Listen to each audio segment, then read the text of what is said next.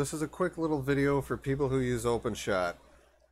I was having a problem recently and I have been looking through forums. I see that many of you have been having the same problem. You go up to title, you click animated title. You click any one of these boxes and instead of it actually loading this section, excuse me, instead of it actually loading this section on the right side like it just did, you're going to get a box in the middle with an error message that says, no frames were found in the output from Blender. Now, everyone tells you the solution for this problem is you need to go to Edit and Preferences and you need to point your OpenShot to Blender. Well, that is necessary. That is actually something you need to do, but that is not at all the solution of the problem. The solution of the problem is this. If you've downloaded your copy of OpenShot in the past few months, you just downloaded an app image most likely because if you go to the OpenShot homepage and you click the download button, when you go to the very next page, it brings you straight to the app image. A lot of people just click download and don't even think about it.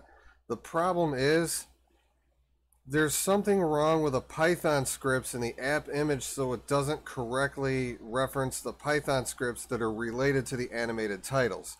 So if you just click download here, it's going to send you the app image for everything else besides the animated titles, I feel that it works great.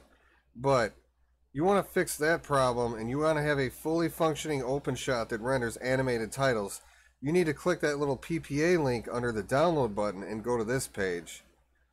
I did this and I selected the stable PPA. Then I ran into that other problem I just made the other video about with a certificate. So I'll throw that link in the description. If you're not able to update your PPA, click the other link and you can solve that problem too. It's real easy to do. But what you need to do is install this repository, run the update command, then install OpenShot with the dependencies. Once you do this, you're going to be able to do the animated titles just fine. Ever since I did this, I've had no problems with it. It's just something about the Python scripts and the app image not working correctly with Blender. That's what I believe is the source of the problem.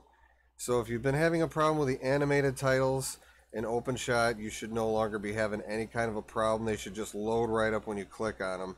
You should see this little progress bar at the bottom, and as long as you see this box appear to the right, you're doing good. If you don't see this appear to the right and you get an error message in the middle, like right right around here that says no frame was found in the output from Blender, get rid of your app image, go get the PPA, and install the latest stable version of OpenShot. Thanks for watching this video. I'll see you in the next one. There's one more thing I forgot to mention. When you're rendering an animated title, this is what you want to see. I'm going to click render and now look at this number down here.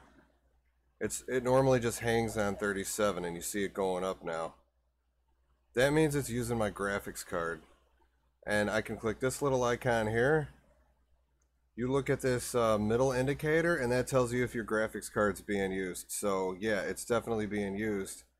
However, this seems to work both with the option on and the option off. It seems to work completely independent of the option here that says use Blender GPU rendering for animated titles. You just need to have the correct version of OpenShot if you actually want to use GPU rendering. When I uninstall the app image and I install this version from the PPA, all of a sudden my GPU started rendering animated titles again. It was great.